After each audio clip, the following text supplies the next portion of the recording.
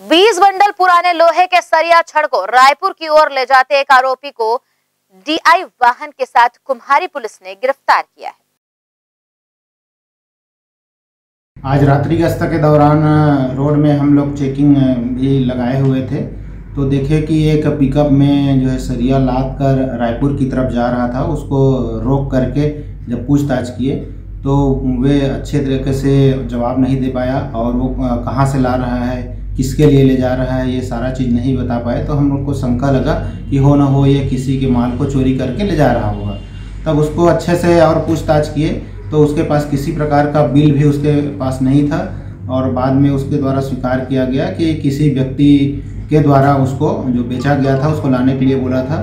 तो फिर उसका नाम पूछे तो वो भी नहीं बता पाया और अंततः वो स्वीकार किया कि मैं ही उसको ले जा रहा हूँ। साहू बताया, और जो बीर गाँव का रहने वाला है जो पिकअप में भर करके लगभग वजनी करीबन 10 टन पुराना जो सरिया है, उसको लोड करके ले जा रहा था, जिसको धारा इकतालीस एक चार तीन सौ उन्यासी के तहत गिरफ़्तार कर न्यायालय पेश किया गया है।